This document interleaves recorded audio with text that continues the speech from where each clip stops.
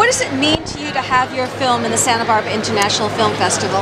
Um, it's just wonderful to be here for the premiere of the movie. It's a great place to have it begin its life. So we've worked on this movie for a couple of years.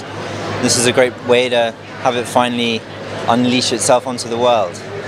Couldn't be a more beautiful venue. Indeed, yeah, it's lovely. It's so beautiful here. We just came here from Brooklyn, New York, which is where I'm from. What was the most interesting aspect of writing the score for this film?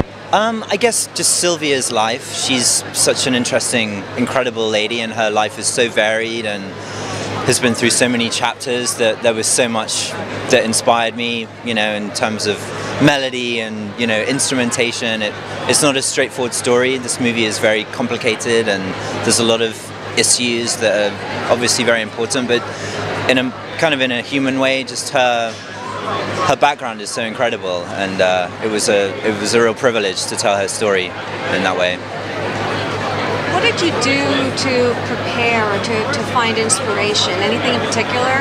Did you? You know, every time I, I start a movie, I try to uh, like buy an instrument that will, you know, at least be one kind of very unique sound for that particular score. For this one, I, I bought a, a what's it called? A waterphone, which is like a it's an instrument with these spikes around it that you pour water in the center of it and you bow it. It has a very specific kind of aquatic vibe-like sound to it. So I guess for every movie I tried to make every experience very unique and different and that was the specific element for this one. But you know, this movie again it's so varied and you know goes to so many places. That's really the, the thing for me that was unique about it.